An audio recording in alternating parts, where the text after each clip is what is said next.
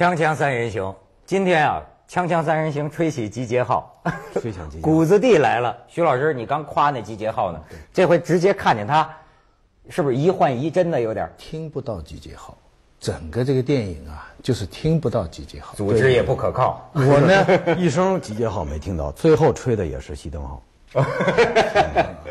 我我我看到他呢，就，呃，就老怀疑他眼睛有问题。嗯。后来才想呢，就是他演的好啊。你看他眼睛好像有问题一样，你明白？就是你一个眼大，一个眼小，哎，对，我跟你讲啊，那眼睛，好多人在问我说你那眼睛是怎么弄的？嗯，两层隐形眼镜，中间加一层灰纸。哎呦，每天早晨，大概四十天的时间，每天早晨摁到这里边，摁进去以后呢，呃，这一天你都不能摘了，因为你看了我们没有室内的戏，我那后边《和平年代》的寻找全是在室外。嗯，这个你要拿下来，沾上一粒灰尘进去，这眼睛就特别难受特别难受。所以每天装，最后干的呀，这眼睛只能往里点油，每天点油啊，点什么点香油啊！点一种那个他们特制特备的那种油。我天，那不得肯定得发炎了吧？还好，他们有两个人专门负责这个，拿着各种小盒、各种水泡着这个眼镜片儿什么的。嗯，然后特别有意思的是，我呢是，呃，这只没安假眼这只眼睛吧视力不好，这只眼睛视力特别好。嗯所以正好把我这眼睛给盖住，我变成一只不太视力不太好的眼睛。哦，晚上他盖上这眼睛是什么也看不见的，晚上哦什么也看不见什么也看不见。晚上，呃，白天还好，一到夜戏的时候，经常就走偏了，就 你老得摸着。所以他就显显得真实，所以就显得真实，自己是看不见，所以搞得我见到他还还我刚才就在，也觉得这是不是眼神真有毛病？多耳龙？这个这个演的是好，这是说明就演的好了。哎呦，他照他说的话，我注意到了。你这一说说，所有的委屈都让谷子地受了，所有的荣誉让张涵予拿了。但是我觉得观众给你掌声、给你荣誉，也是给谷子地的。嗯，你们这宣传是怎么定基调？是算主旋律片吗？呃，其实没有定过这个基调，从来没有定过。但是我认为，呃，那天很多人在讨论这个事儿，就说你可以把它说成是主旋律电影，因为它是一个励志的电影。你看到最后还是很励志的一个电影。但是人家又说了，说那为什么以前拍那么多主旋律的电影没有人看，观众不爱看？那是你没拍好。嗯嗯嗯嗯，你拍好了，观众照样看。对我们这个电影，我们这电影，你看，我我我我同意，我我一路看他的电影，一路在想，原来那么多的那种打仗的那些电影啊，回过头来我们老是看的不满意哈，不是因为政治原因，对就是因为艺术原因。对，你你美国人打仗的片子关我何事啊？嗯，那美国人冲啊死啊，那我根本不投入的。可是为什么看得掉眼泪呢？就是他的艺术感染力。对所以他这个片子我就看完了以后，我就想，艺术标准第一，就是说不管你拍什么，但是你知道吗？就有些时候呢，真实反而成了我们以为的那个美国。你说，我发现这挺有，对我听他刚才讲，我挺有意思。你比如也有的帖子一看说，你开始这个战争这个场面啊，说是什么真实？说是拯救大兵莱恩是吧？哎，他还是拯救大兵莱恩，他还配过音呢。配过音说拯救大兵莱恩，说难道我们中国的战争片也得学美国鬼子打仗吗？可是你知道，他说呀，他们拍这个片子走访过很多参加过淮海战役的老兵，对，之后。之后。之后就是我们这电影上演以后，我们见过很很多，我们接触过很多，呃，打过淮海战役的老兵、老战士还活着的。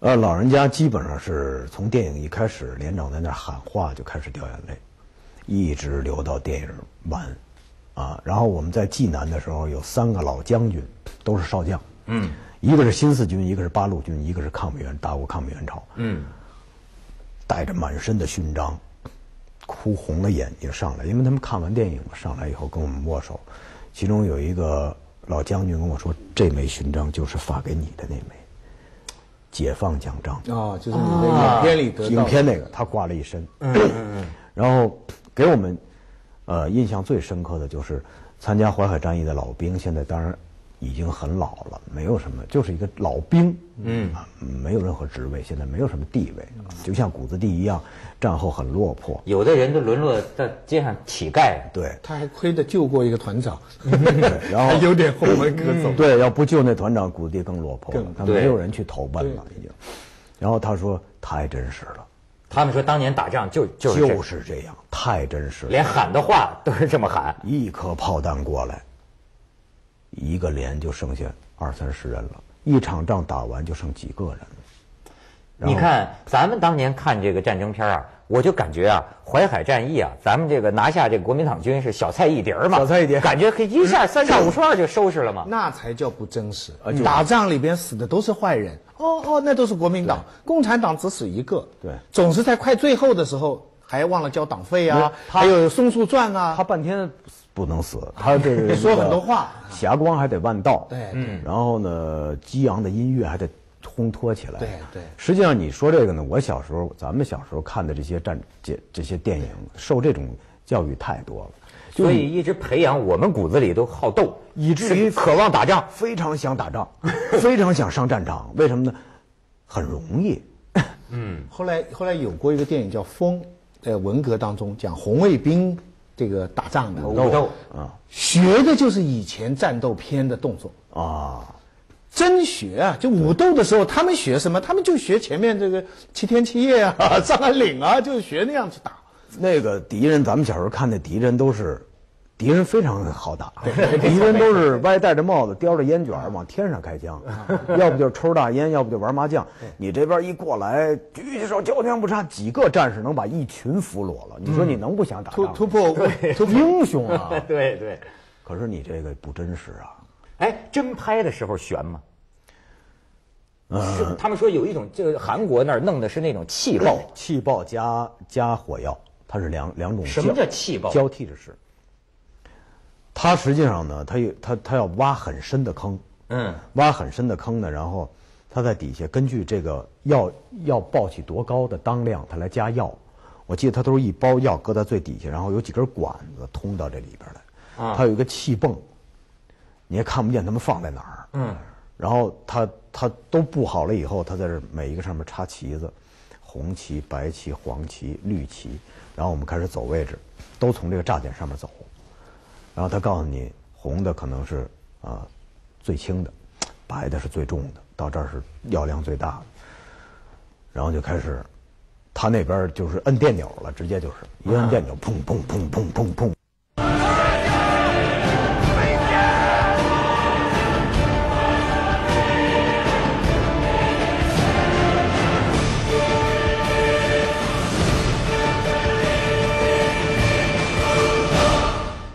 其实，整个这个五个月，我们整个都是在东北，嗯，每天真刀真枪，乱，兵荒马乱，拍起来真是兵荒马乱。呵，你想想想也真佩服我。我看这些场面的时候，我就在想，那那这种场面不能老 NG，对不对？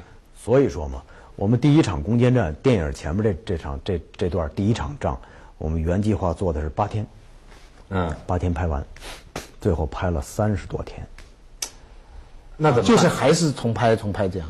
重拍无数预想不到的问题，一遍过去不行，停，等一天埋炸点，那得埋一天。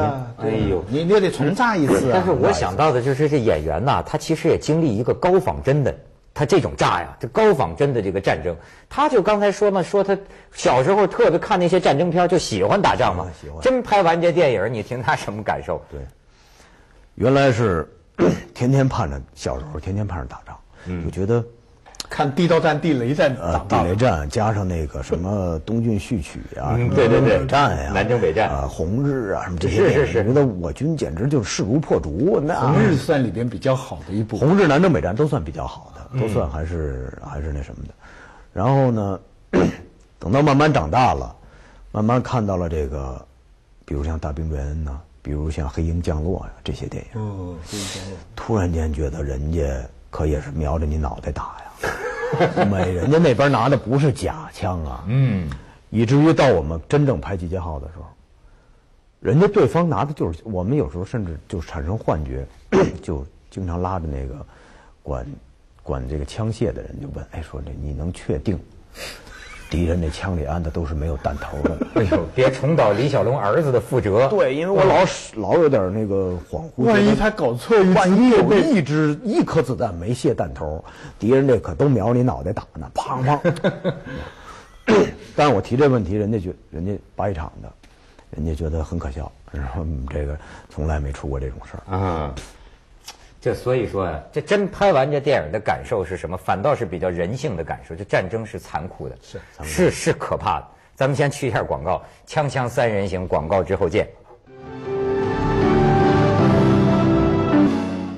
还是他是是骨子地，我就觉得这个雕刻一样的这个脸呐、就像是那个当兵的。你看这下边还一道刀疤，哎，你这疤是怎么回事？这疤是小时候淘气，小时候淘气冰场滑冰的 时候，战役无关。跟淮海战役无关。冰场滑冰的时候跟人打架，冰鞋砍的这。呵，真是。这因祸得福。但但是我就注意到，这一个演员呐，演一场戏，要不说往往就是精诚所至，金石为开啊。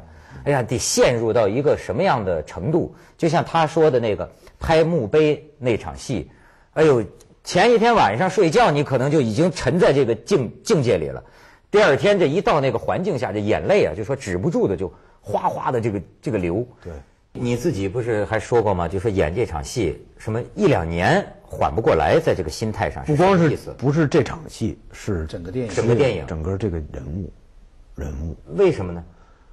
因为你知道，我拿到剧本的时候，我已经就是说读不下去了嘛，就是看到三分之呃五分之二的时候，已经在冯导演办公室里边，是我一个人关在一小屋里边，扎在那沙发角那，我就开始哭，呜呜的哭。我当时哭是什么呢？我就觉得特委屈，我对我为谷子地委屈。对，我这就是这个电影有突破性的对我为这么一个平凡的小人物，一个小连长，他不大，没有人给他树还。有还有周围一批死掉的，一批被兄弟又被认为是失踪，甚至还要受处分。对就是他这个电影不单是写了为革命牺牲的伟大，还现这个牺牲使人怀疑，就是说这样的牺牲，最后看的人都会有说这值不值？但他最后又坚持说是值的。你知道，就在这个中间给给大家一个很大的冲击力。对胡军那场戏我都觉得演得非常之好，就是他他那个你撞飞那个，就是跟前面那场戏是对的。对，他不单是忠于一个组织的命令，他还有一个哥们儿里边的这种信任。他只有他们两个人是从那个团里全都死完了，就他们两个人了。所以那当他许诺说，真的就是说一诺千金啊，我怎么样，我只要这样，我就是许诺。但是这个许诺什么，就是就是一条烟呐、对。但是又是一个人心啊，所以他在那个墓地上哭的时候啊，那那个人心那种不可信，后来就说不可信。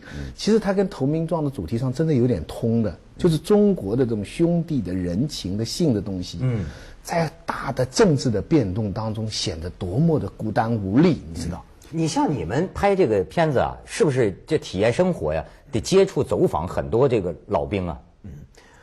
呃，走访老兵呢是后来我们拍的那个纪录片《牺牲》，牺牲牺牲，走访了很多老兵，其中我们还走，我们还呃采访和接触到了这王爱甫，山山西太原的一个老先生叫王爱甫，当过兵，是一老兵，复员以后呢，他他这个喜欢收藏，然后他就老逛这个旧货摊儿，在一个旧书摊上买到了，啊、花钱买到了七十多份儿呃，淮海战役的烈士烈士的阵亡通知书，哦，有人把它卖出来，有人把它卖了。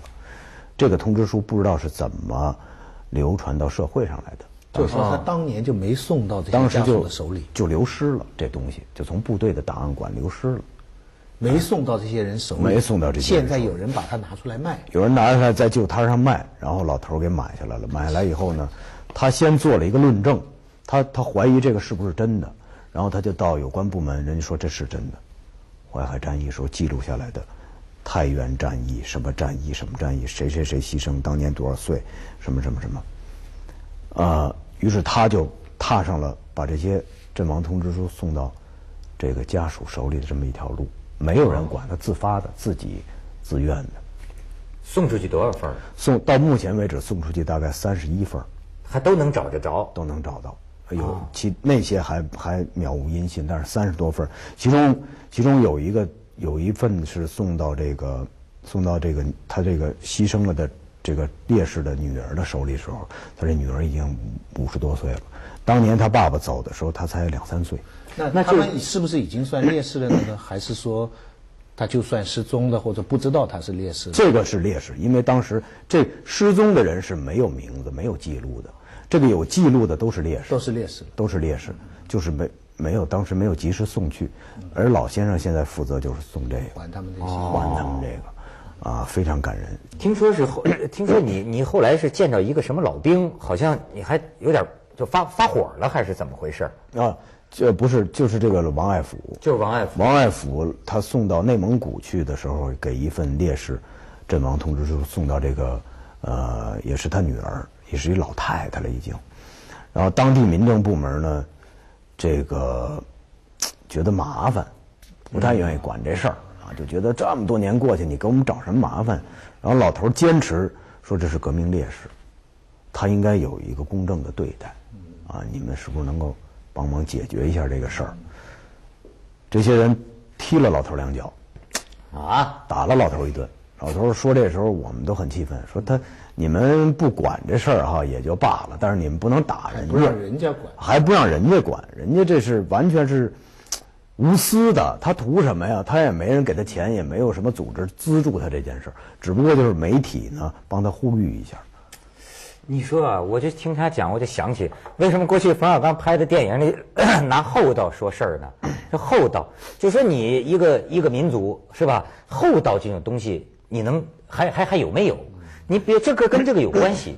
你比如说，我就老记得在那个莫斯科呀，还有我见到人家，你看社会也是发生急剧变化嘛。对。但是我们在莫斯科见到，就是结婚呢，新郎新娘啊，全家人拿着鲜花到那个烈士纪念碑前，对对对送花。对还是他实际他还是要追念这个民族的这种烈士。对但是你说我们现在，我们现在烈士陵园卖票啊，对那那那就就好多人投诉嘛，什么我们去悼念烈士，你那儿还卖票，门口还开店，然后呢，你比如说我有一次，我们石家庄是一个挺大的一个烈士陵园，有一个叫华华北那个烈士陵园，对然后我去。哎呦，很多就是淮海战役。你知道当时我看呢，我这是感受一个一个那个墓碑看过去，二十一岁、二十岁、十八岁、二十几岁，我一想当时这些这个还是有有名字的呢。我们到淮海战役纪念碑那儿是某某某某某某某某某某某某某某某有名儿，然后以下一万两千七百人。那十几个有名字，剩下那一万两千七百人是没有名字的，不知道去哪儿了。哎呦，所以无名烈士墓，很多地方都有无名烈士墓啊。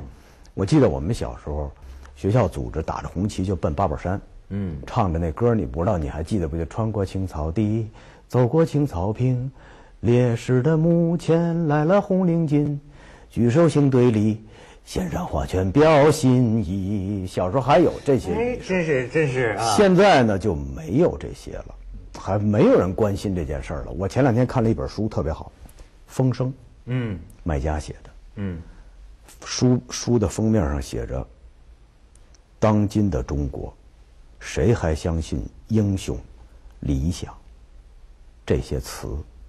但是在我们的生活中，就存在着这样的人。我们其实这些东西不应该这让人掉让人感慨。咱们先去一下广告，锵锵三人行，广告之后见。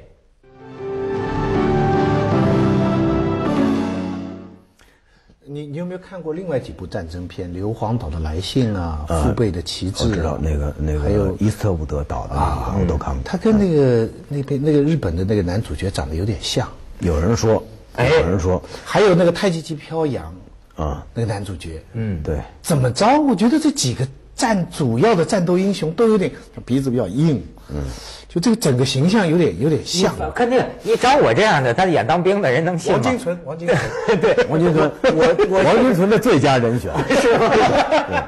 人家后来也是英雄啊。啊，但我觉得你这样的就像是连长，就就给人感觉士士兵嘛，对，好像你发现没有，就是这几部电影，包括《大兵瑞恩》《兄弟连》什么这些，他的主人公都是一个连长。为什么连长很亲切？